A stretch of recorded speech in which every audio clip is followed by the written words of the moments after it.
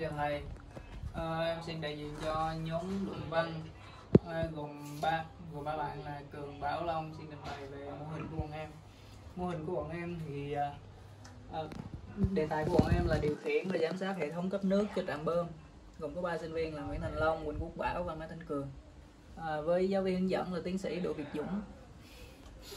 À, về cơ bản thì mô hình của bọn em nó là nó là điều điều khiển và ổn định mực nước ở một cái ờ, giá trị ờ, giá trị cài đặt nhất định.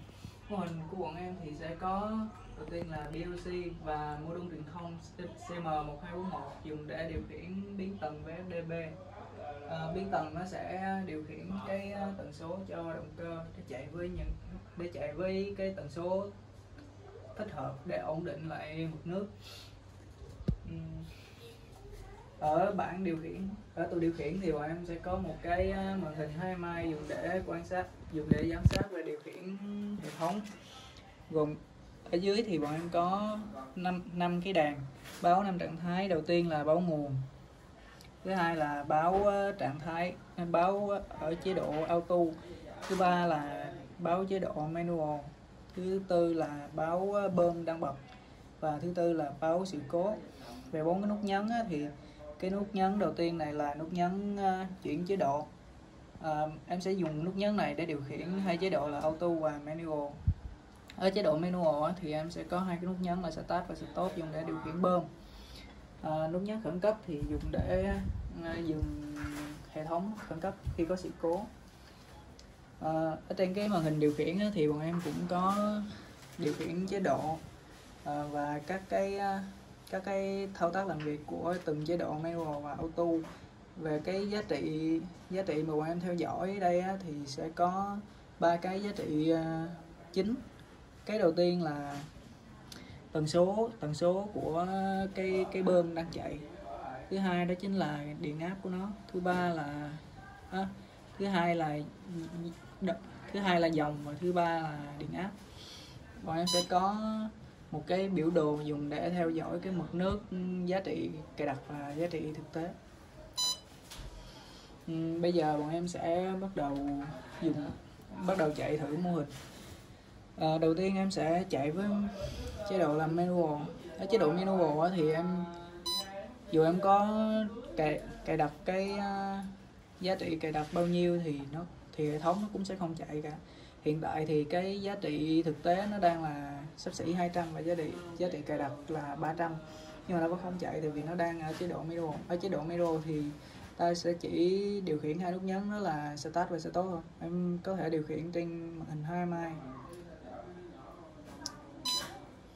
Em vừa ấn start thì ờ, ký hiệu bơm đang bật, đèn báo ờ, bơm đang bật và nước trong bồn đang ờ, đang đang đang được bơm bơm vào bồn khi em ấn nút stop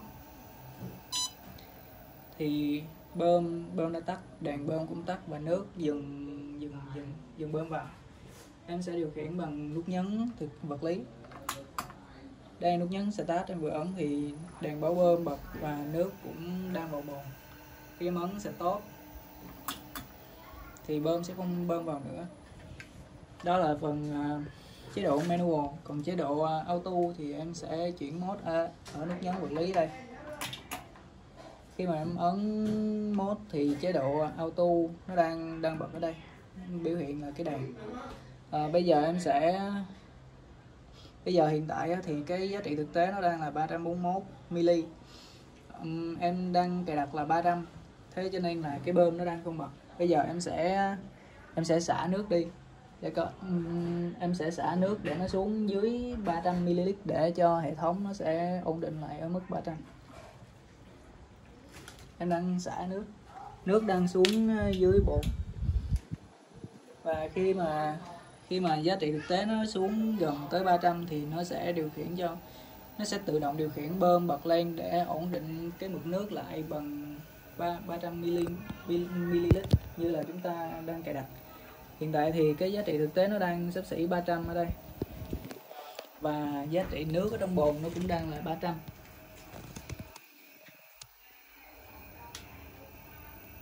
bây giờ em sẽ cài đặt à, cái giá trị à, cài đặt là ba trăm rưỡi.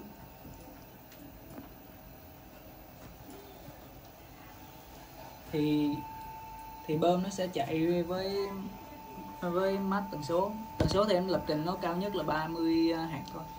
Tại vì máy bơm nó nó khá là mạnh thì dần dần chúng ta sẽ thấy cái mực nước nó sẽ lên gần tới 300 và nó sẽ ổn định ở mức 300 350 300 350 350 ở đây hiện tại thì nó đã ổn định ở mức 350 à, bây giờ em sẽ xả ờ, mạnh hơn một tí. Khi mà em xả xả mạnh hơn á, thì ngay, ngay cái tức khắc đó nước nó sẽ bị bị giảm xuống. Tại vì cái quá trình xả nó xả nhiều nước hơn. Khi đó thì bơm nó sẽ chạy ờ, mạnh hơn để mà nó bù nước vô. Và nó nó sẽ về lại cái mức ba trăm rưỡi bây giờ em sẽ xả nhẹ nước lại. Em sẽ xả nhẹ lại. Và ngay lập tức thì mực nước nó sẽ lên cao hơn ba trăm rưỡi, tại vì cái mực nước xả ra nó đang nó đang ít á. Thì bơm nó cũng sẽ được điều khiển là chạy với cái tần số nhỏ hơn, thấp hơn để cho nó từ từ nó sẽ dần dần ổn định về cái mực mực là ba trăm rưỡi.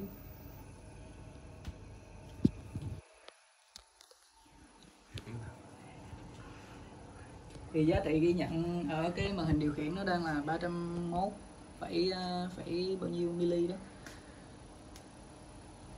À, chúng ta sẽ quan sát bằng trên view.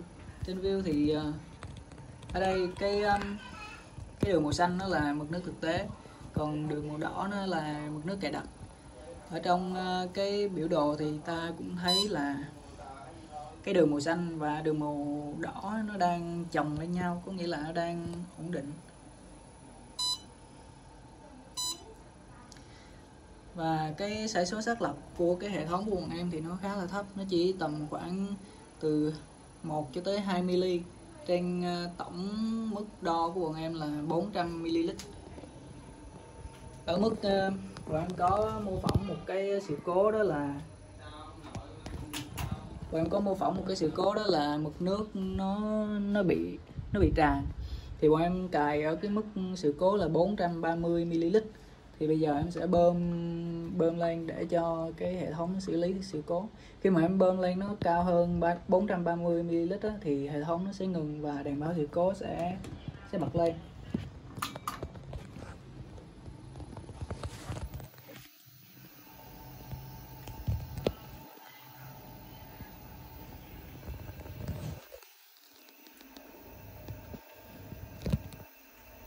Giá trị ờ, giá trị thực tế của nước nó đang đây đây. Bây giờ nó đang cao hơn đang cao hơn 430 cho nên là cái đèn báo sự cố nó đang đang bật. Khi này chúng ta sẽ xử lý bằng cách là uh, như bình thường ấy thì chúng ta sẽ uh, sẽ nhấn nút nhấn dừng khẩn cấp. Dù là nó hệ thống nó cũng tự dừng nhưng mà chúng ta vẫn nên là bấm cái nút nút nút nút dừng khẩn cấp. Bây giờ cái cách xử lý của cái uh, mô hình của bọn em đó là xả phải xả nước ra.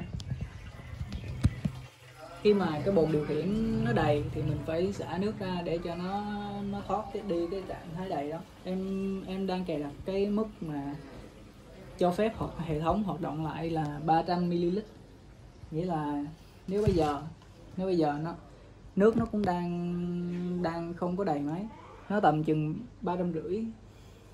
Nhưng mà hiện tại hiện tại thì cái à, đèn báo sự cố nó vẫn vẫn đang bật. Tại vì nó chưa về cái mức ừ, hệ thống cài đặt.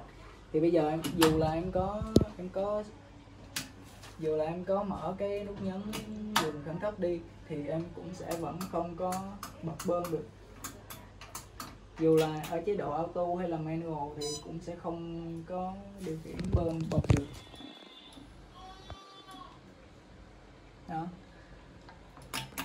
Thì bây giờ mình phải xả nó xuống dưới 300